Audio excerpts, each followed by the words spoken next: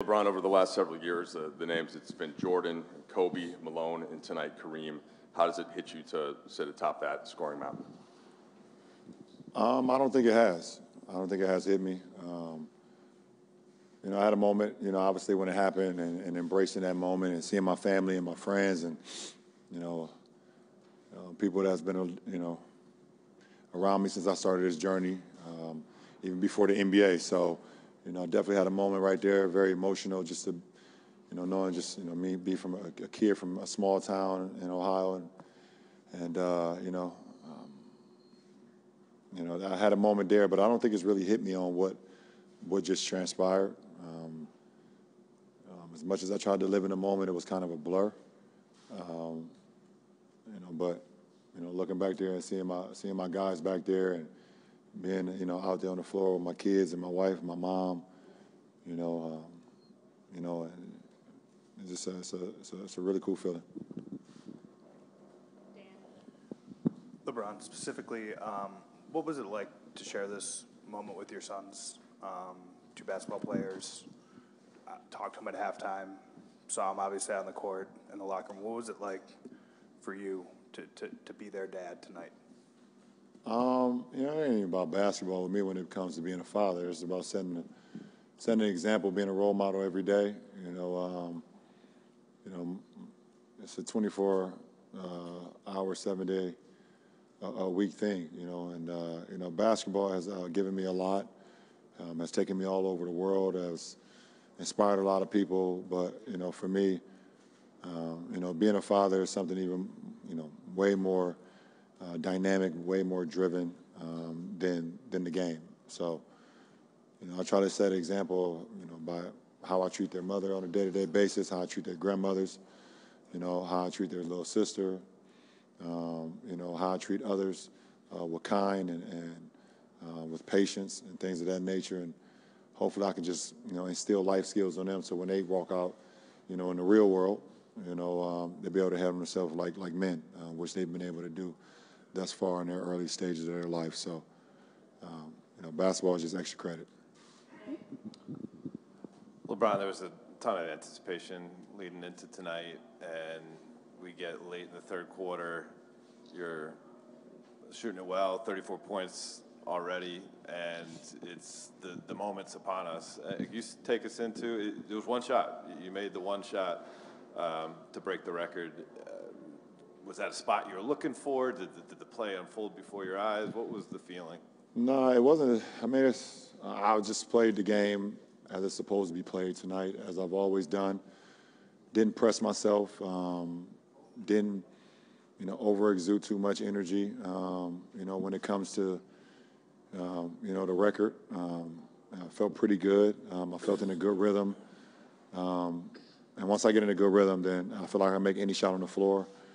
You know, to to break the record, um, I was able to get to a, a, really good spot on the floor where I'm very comfortable with, and get to one of my patented fadeaway shots. You know, and uh, I know a lot of people wanted me to go to the sky hook to break the record, or or one of my signature dunks.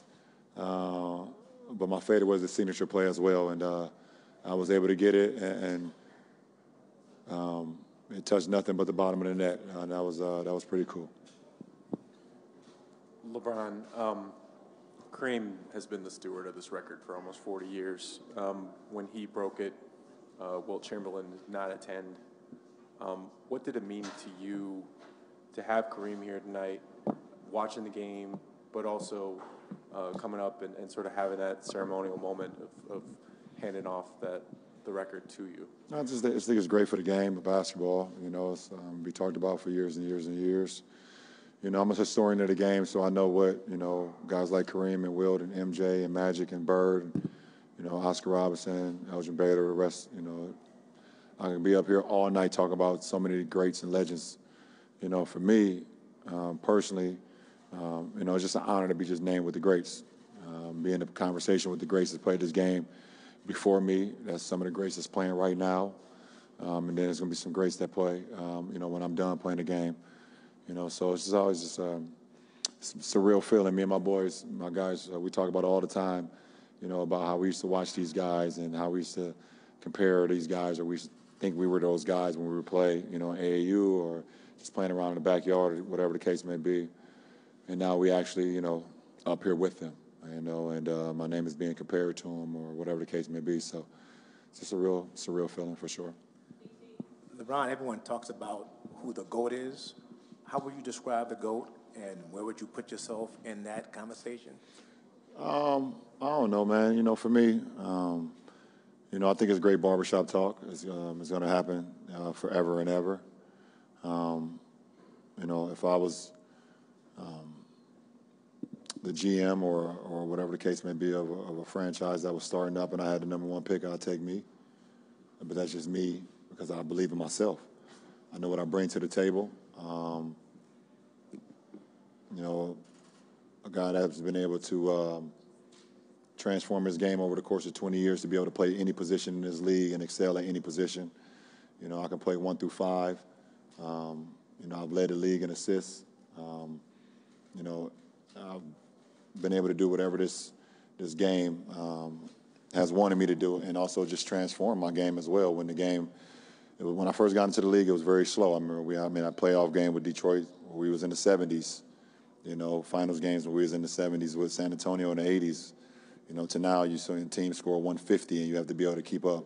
You know, and more threes and things of that nature. So, um, you know, um, you know, just being able to stay, um, you know, with the curve and and, uh, and changing my game if I needed to, or just improve my game. But that don't take away from nobody else. I mean, so many great players has played this game and has, you know, has uh, last long legacies in, in, this in this in this game. Uh, this NBA is a beautiful thing, and it's been some some beautiful players to play it, but I, would, I can't take nobody over me. Le- LeBron, you have championships, MVPs, finals MVPs, and, and countless other accolades. Where does this achievement rank for you uh, among all your basketball accolades? I don't know. Um, the championship sit at the top um, because I'm a team first guy when it comes to understanding that you can't be great in this league without great teammates, great coaches um, that prepare yourself um, every single day to be great. So, um, you know, the championships will always sit at the top for me because that's just where I come from. I come from playing championship basketball since the first day I ever played um, organized basketball when I was eight years old. So that would always sit at the top. Um, I didn't set this, this was not a goal for me. That's why it's probably so surreal and, and, and so just like weird to me because I never ever talked about being an all-time scorer in NBA history. I've, it's never even been a thought of mine until I just, I guess I start seeing my, my numbers get closer and closer. I was like, oh, wow, this is, this is kind of crazy. This is like, it's weird, but it's, I can, I guess I can do it because I'm gonna be playing and I know I'm still playing at a high level, so it can, it can happen. Um, but I, I, don't know where it sits. Um, I've been able to do some incredible things in this league, and hopefully I can do some more incredible things before I'm done. Um, LeBron, right here. I'm going to squeeze two in, sorry. But one is, I, you gave a long hug to the Walkers as you were leaving the court, and um, you know you've got a lot of people here tonight that have known you forever. Uh, what does it mean to you to have those people here? And then the second one is just um, you you had tears in your eyes when when this you know when the celebration was happening. Like, did the emotion surprise you? Emotion that you felt surprise you at all? Um, to answer your first question, I wouldn't be who I am today without the support of everyone that I got in town for this. Uh, I wouldn't want it no other way. And you know, Pam and, and Big Frankie are, are, are, a huge part of why I can sit up here today and talk about this. Um, they took me into their household along with their three other kids, um, you know, at the time and, and, made me feel like I was one of their own. You know, uh, Big Frankie introduced me to the game of basketball. Um, he was the first person to, to, to show me how to make a left-hand layup. And now I love going left. Uh, I, I, I, mean, I'm, I feel even, I feel like I'm a left-hand dominant player because of Big Frankie. He told me you're not, you will never be a good, as good as you can be if you can't use both hands. So, um, and he told me you also will never be as good as you can be if you don't um, get others involved. Um, so he just taught me the game from a, from a, from a young age, and uh, I've taken those skills. Uh,